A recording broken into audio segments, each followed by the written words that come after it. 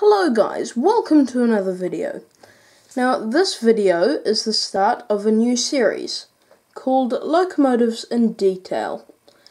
Now this series will be looking at some locomotives that I reviewed with my old camera and the detail didn't come out very good. For example, my uh, Bachmann 45XX. Um, so we're going to be looking at the, of course, 45XX today. And so the series will be divided into three parts. This, uh, Flying Scotsman, and the Class 153, which is away in its box. So that is it. Well, not. It, uh, right. So, um, this is as I kept saying in my other review, a stunning model, but this just picks it up even better. Yeah. So, what we have, these, uh, I think they were Churchward designs, these 45XXs. Um, what beautiful designs they are too. Um, now this is, uh, Oh my gosh, where to start with this?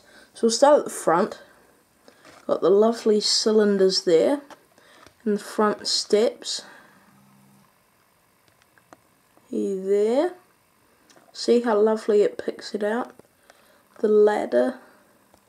And if you can see all the rivet detail on the front, uh, just above the buffer beam in the smoke box. Ah, out of focus.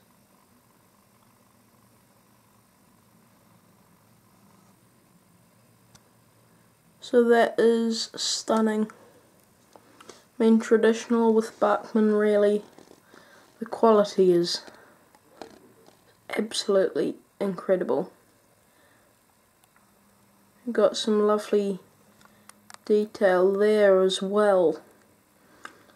Uh, I actually don't know what that is, but if someone could tell me, that'd be nice.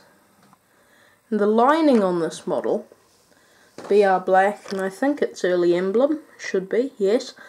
Um, it's, oh, the lining's fantastic.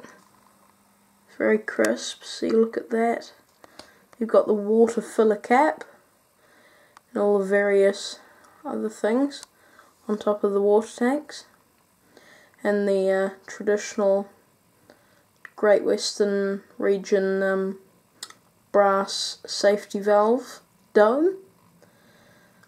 Um, got this lovely funnel um, and there is space inside so you could fit a smoke generator if you wanted to.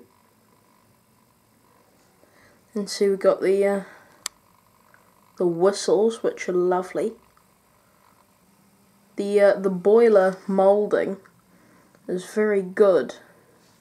So you can see through under there, which is uh, prototypical, which is very nice.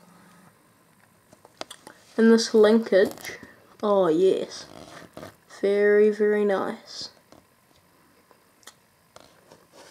Now here is, as Intercity 82 would say, he loves his rivets.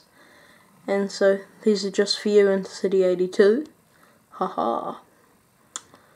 These lovely rivets. And uh, if I can zoom in on that crest. Look at that. Lovely. Right, so this is number 4457 um, and it's uh, it is marked out very well. Gee, sorry, oh, bit shaky. Um, and oh, you can see some cab detail in there. See the brake lever and the regulator, the reverser. It's all in there, believe it or not.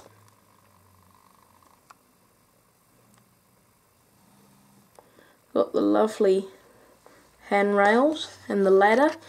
Now this this uh, the ladder right there that is not on the other side but I have got it in my parts bag so that has to be glued back on because it came out of its holes and then the little tabs broke off and oh goodness knows so um yeah that's yet to fit so we've got the uh, got the back detail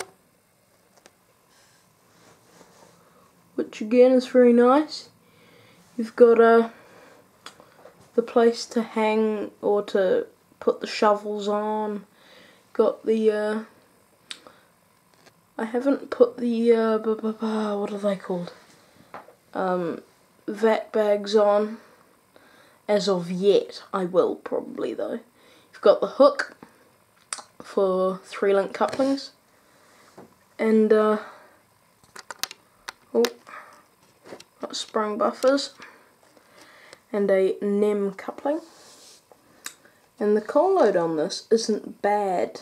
Um, I suppose I don't I haven't actually tried removing it so if anyone knows if they can remove it please do tell me um yeah I mean the other side's just the same really and but the linkage is lovely it's very simple but it's very very effective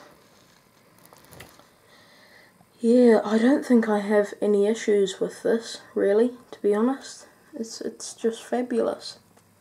And but the smoke box detail on there is very nice. Ooh.